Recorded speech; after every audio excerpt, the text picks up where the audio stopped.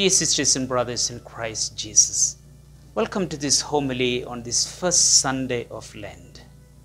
I have installed fire extinguishers in the building and they need to be serviced every year to clean them and fill new gas again. I have used two different companies in the past for the same. One week before the expiry date in the following year, one or the other would call and say, Father, it is time to service the fire extinguishers. Shall we come and do it? They remind us to be effective, they must be regularly serviced. The church gives us this yearly time of Lent so that we regain the strength and the spirit which may have eroded during the year. That's why it is called a season of grace, because it is a time of spiritual renewal and growth. And at the beginning of Lent, we are given the example of Jesus, who went into the desert where he fasted and was tempted by Satan, but became victorious over him. We too are given time to refocus on who we are, where we have been going in our spiritual life, and in our struggle with Satan. Today, as we reflect upon the temptation of Jesus in the desert, think of this. None of the disciples was there with Jesus when it happened. So, how did they come to know about it? By all means, Jesus must have told them. And that means, even for Jesus, it was important that his disciples and we know about it. And I can think of only two possible reasons. Firstly, Jesus wants us to know that as fully human, he experienced the same temptations and struggles and as any other human person. But he was able to overcome them, which sets an example for us to follow. As the letter to the Hebrews says, For we do not have a high priest who is unable to sympathize and understand our weaknesses, but one who has been tempted in every respect, yet without sin. Hebrews 4:13. Secondly, Jesus wanted us to know very clearly that Satan is real. He is a real adversary who seeks to deceive and destroy us. But at the same time, Jesus assures us that he has no ultimate victory over God's children. Let's come to the passage itself, where Jesus, the second Adam, overcomes the temptations of Satan. This is in contrast with the first reading from the book of Genesis, where the first parents gave in to the temptation of Satan.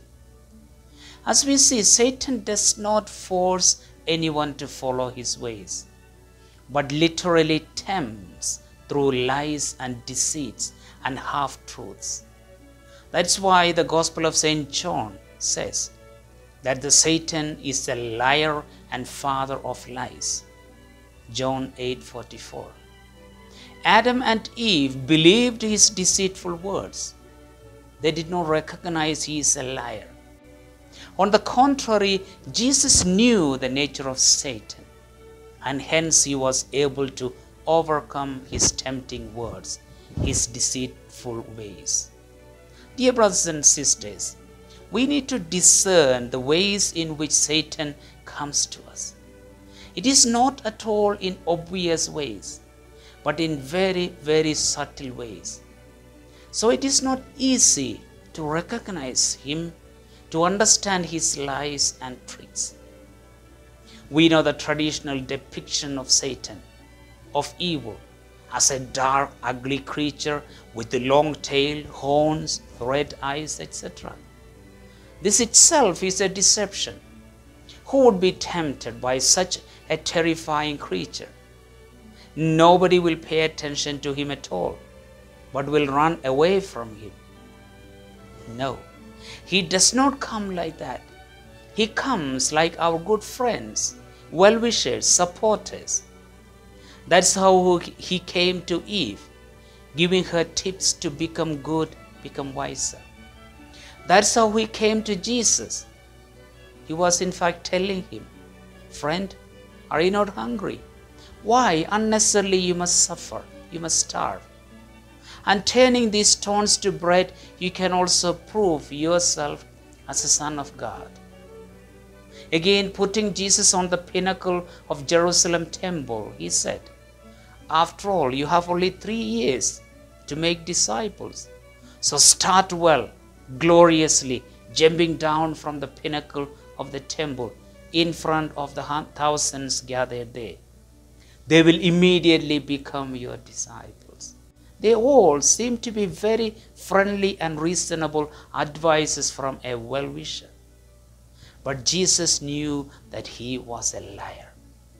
All temptations are subtle, and you yield to one, you become more prone to yield to the next. And you resist one, the stronger you feel to resist the next.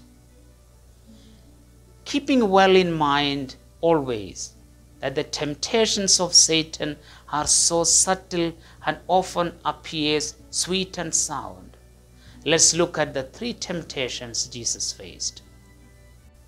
The first temptation Satan telling Jesus, If you are the Son of God, ask these stones to become bread. This would prove that Jesus is the Son of God and that he is the new Moses because Moses provided bread in the desert in the Old Testament. And this was where something very simple for Jesus to do but he did not do it. For he, he came not to provide bread like Moses in the desert, but to become bread, life giving bread, which required that he die. But still, he would make bread for others, but not for himself.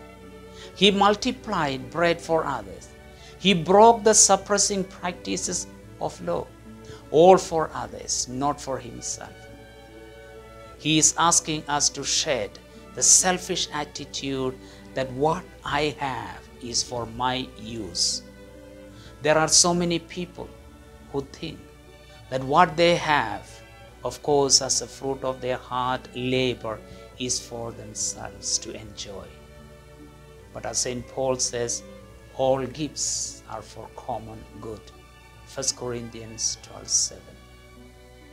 The second temptation was to jump from the parapet of the Jerusalem temple, and it was asking Jesus to become famous and to use shortcuts for success. But Satan was putting it so nicely. He was, in a way, telling Jesus, What a great start of your mission it would be with such a great miracle jumping from the pinnacle of the temple in front of the thousands gathered there. And when you land unhurt, as the angels carry him, carry you, say, Repent, for the kingdom of God is at hand.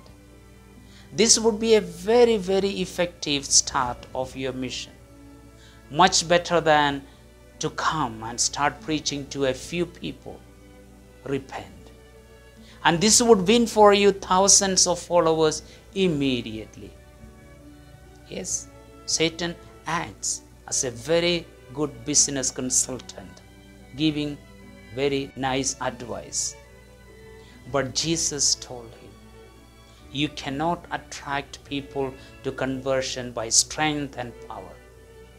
Jesus was not declared Messiah when he raised the dead, multiplied bread, or performed many other miracles but when he died on the cross. Then the centurion, a Gentile, said, Surely this man was a son of God. He had already told Nicodemus, When I am lifted up, I shall attract many to myself on the cross, not by jumping down from the temple top, not by doing many great things. You may remember in the movie Passion of Christ, Satan is again and again after Jesus, whispering in his ears, to give up, for the suffering will be too much, too much pain, that he cannot save the world, that the world does not deserve so much suffering from him, etc. And he follows Jesus till Calvary, hoping Jesus would pull back, knowing the pain that he has to undergo. But he is definitively destroyed when Jesus dies on the cross. People will keep you in their hearts not when you have money and power and position, but when you have become one of them, when you have become their bread, their servant. Showing your power is not going to get you into people's hearts, but showing your service, your simplicity. As we know, hundreds of people were converted to Christianity in the early centuries when they saw the joyful perseverance in the Christians in, on the face of persecutions, not because of the power they had. And thirdly, Jesus is tempted when Satan takes him to the top of a mountain. And he is shown the whole wealth and power of the world from there. And Satan tells Jesus, All these have been given to me, and I will give all these to you if you worship me for a second. Only a second, and nobody would also know. But how did he receive all the power of the earth? Through the sin, the disobedience of Adam. And Jesus came to regain it, which he accomplished through his death on the cross. That is why before his ascension, Jesus told his disciples, All authority has been given to me. Matthew 28 18. Now Satan is telling Jesus that Jesus could accomplish his redemptive work without the cross, without the horrible suffering, had he only worshipped him for a second and in complete secret. But Jesus knew that the true way to bring salvation to people is through the cross. He was showing an example to those who find it all right to achieve their goals, such and wealth through unrighteous means. There are so many ways to make easy money and success. But Jesus wants us not to earn anything in unrighteous ways. Dear sisters and brothers, on this first Sunday of the Lent, we are reminded that Satan is real and our fight is never ending with him. But Jesus has defeated him, and hence he cannot have ultimate win over us. In Jesus' name and in his power, we have the ultimate victory in our battle against him. May these 40 days strengthen us in our spiritual battle and fill us with the joy of resurrection.